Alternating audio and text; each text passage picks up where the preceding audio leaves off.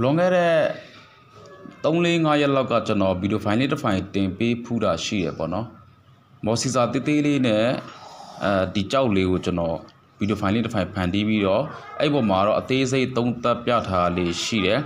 ဟုတ်ကဲ့ဒီဗီဒီယိုဖိုင်မှာကကျွန်တော်အသေးစိတ်တော့မပြောတော့ဘူးဟိုအခုလက်ရှိအလုပ်လုပ်ထားတဲ့အချိန်မှာထွက်ထားတဲ့ဈေးနှုန်းလေးတစ်ခုရယ်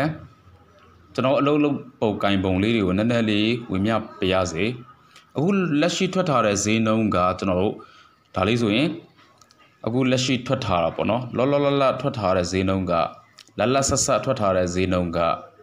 တရုတ်ငွေ3000တရုတ်ငွေ3000ဆိုတော့အခုကာလပေါက်ဈေးနဲ့ပြန်ကြည့်မယ်ဆိုရင်မြန်မာငွေ390လောက်ဖြစ်တယ်ပေါ့နော်ကျွန်တော်အနိစ္စဆုံးမြန်မာငွေကိုပြန်ပြီးအချိုးပြန်ချကြည့်တဲ့အချိန်မှာ390လောက်ဖြစ်တယ် ဆိုဒါလေးကမြန်မာနိုင်ငံလိုနေရာမှာဖားကန့်လိုနေရာမှာမန္တလေးလိုနေရာမှာဘယ်လောက်လောက်ပေးရမယ်လို့ယူဆမိတယ်ဒါပေမဲ့ပိုင်ရှင်ကတော့3000နဲ့မရောင်းဘူး3000ခွဲလောက်ဆိုရင်တော့သူရောင်းမယ်လို့ပြောတယ်ဆိုဝယ်လက်ကလည်းအမြင့်ဆုံးပေးတာက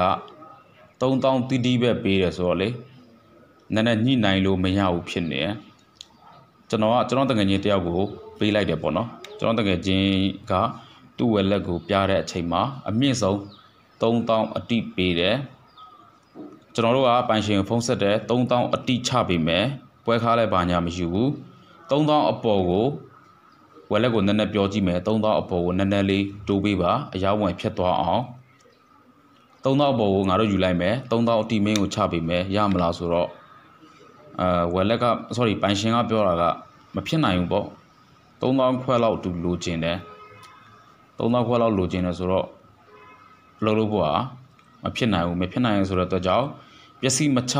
မချပေးခင်လေပိုင်ရှင်လက်ထက်ကိုပျက်စီးပြန်မပေးခင်လေအကျွန်တော်ဗီဒီယိုဖိုင်လေးတစ်ဖိုင်ဖန်တီးပြီးတော့တင်ပြလိုက်ရခြင်းဖြစ်ပါတယ်။ Okay သူတို့နည်းနည်းအာယုံတက်နေတဲ့အချိန်မှာ